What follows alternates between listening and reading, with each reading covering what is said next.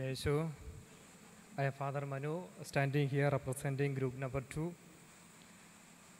In our group, there were six members, and all the members shared their insights about what they had, what they were inspired during a class and in other uh, reflections.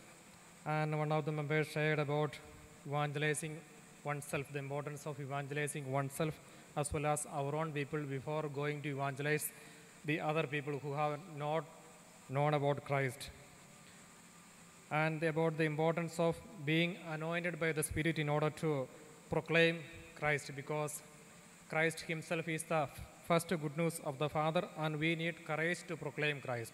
In order to have courage, we need the anointing of the Spirit. Only then we can proclaim Christ without fear. Otherwise, there will be a lot of things, uh, Uh, lot of things blocking us proclaiming Christ without fear. I need to study, study, read, study, and reflect about the Word of God and being anointed by the Word of God before going to preach the Word of God. Only if I have Word of God in myself, then only I can preach Word of God. And we need to be people filled with Word and Spirit. If we have an open attitude towards the inspirations of the Spirit, the Spirit will guide us in His own ways in our field of mission and evangelization.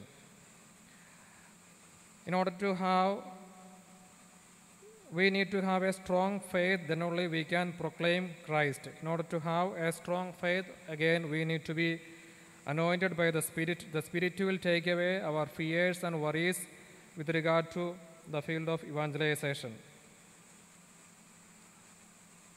And one of the members shared about the example of Sturibul, brother had shared.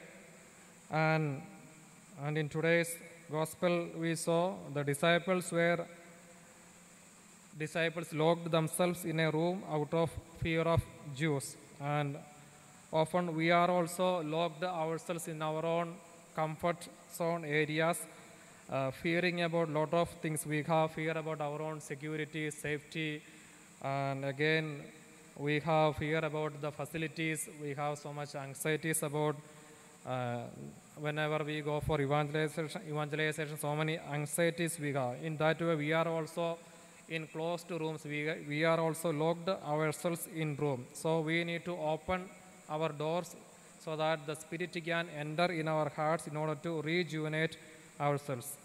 These were the, some of the uh, points shared in our groups. And after the sharing, we had uh, the prayer session. And during prayer session, some of the members shared some of the inspirations they received, and it, it was helpful for the members. And, and again, we divided ourselves into two, two groups, uh, three by uh, two by three, and we prayed for prayed for each other. That also was very uh, inspiring as well as helpful. How to it was a, a practical experience how to do our evangelization work in a better way. Thank you.